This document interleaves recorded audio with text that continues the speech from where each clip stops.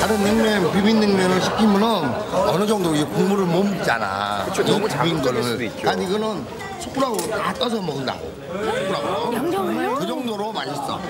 어머. 그 무조건 매운맛은. 먹는데 근데 이 집 매운맛은 나한테도 괜찮아요. 양념이 맛있어 그 싹싹 비우는 것도 못지않아 남은 양념에 밥까지 싹싹 비벼 약간 밥 먹는 생각했는데.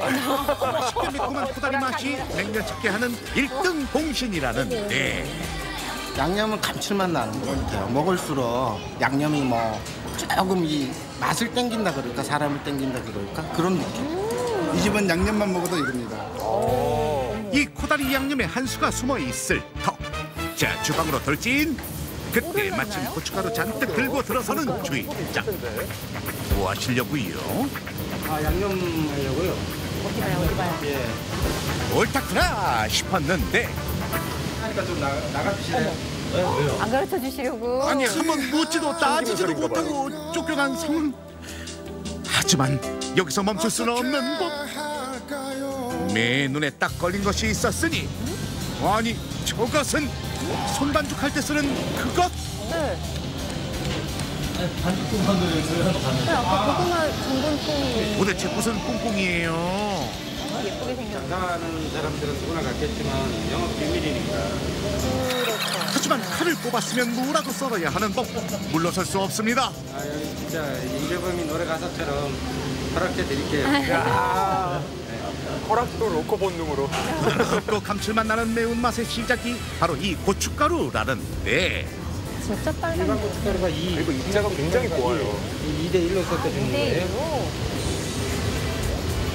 이게 뭐예요? 음? 뭐 이건 걸쭉하죠. 또 뭐예요? 어, 저기, 이건 찹쌀풀 찹쌀풀로 ปั้는 거예요. 김치 담글 때 쓰는. 예, 예. 여기도 입반죽을, 양념을. 냉면 반죽뿐 아니라 양념까지 손수 반죽한다는 주인장의 집념 이게 치대면 치댈수록 맛이 겉돌지 않고 이렇게 잘 융화가 됩니다.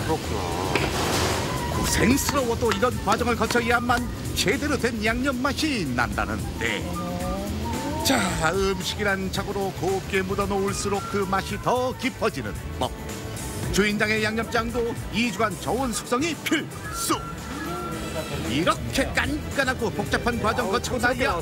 깊은 맛이 제대로 난다 어?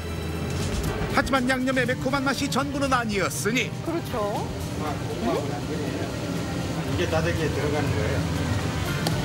매콤한 맛 잡아주고 달콤한 맛 내주는 비법이 바로 고구마와 당근 그렇군요. 이건 진짜 전성이네요. 그러면 깊은 맛이 있죠. 그렇죠, 그렇죠.